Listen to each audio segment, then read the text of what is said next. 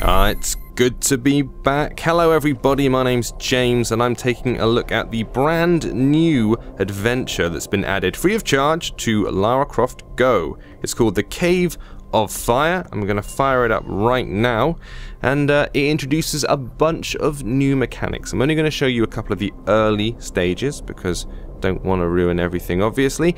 Uh, the full game, when it was originally released, had like 70 something puzzles in it, as I understand it. This game, uh, the added on bit, contains about 27 to 30 just by itself. So you're effectively extending the length of the game by about a third. Now, things like the spear and this little lever over here, you're already familiar with. However, did you see how I killed that snake and then the snake came back? Now watch this. Lob a spear at him, snake goes down. As I start to move, you'll notice a line appears next to the snake. If I move again, the rest of the line starts to appear. I jump again, another one, and one more time. Bam, the snake is back. There is a full resurrection mechanic in this game. I can kill it again.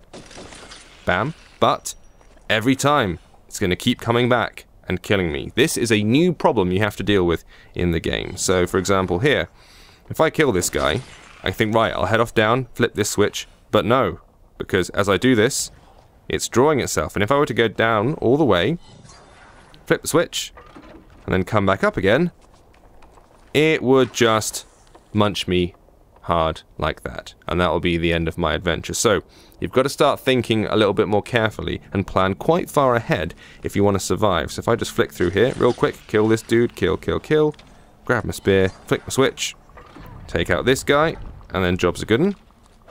Splendid. Now, we can start working with the pillar that is up here.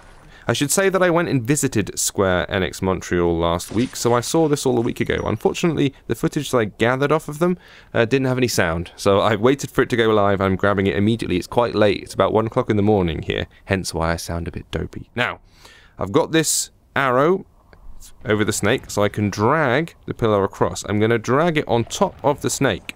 What that means is, when it tries to revive, you can see the pillar's crushed it. Can't move, can't do anything. So I can safely come down here, flick the switch, get that thing out of the way, head back up, make my way to the exit without any concerns. Another win for Lara Croft there. Uh, this wasn't originally conceived, apparently, uh, with the whole game. This was literally an add-on that came in response to fans going, could we have some more of the Lara Croft, please? Uh, and so they went ahead and did it. The reception was obviously very strong for it in the same way that it was pretty strong for Hitman Go uh, as well when it came out. It won a bunch of critical acclaim and all of that. So let me just shoot this dude back over here. Now, I can drag it across, drag it across again. That's lovely. Now, as I've stepped on there, we're familiar with the uh, weakened floor mechanic. I can go down here. I can now execute this snake. Boom. That's great. Come back around here. And then hopefully I can push that over there. Bam. It now falls through and gives me the ability to walk around if I want to. Uh, I'm not going to show you too much more of this because I don't want to spoil it, like I said, but look forward to about 27, 26 more missions to go.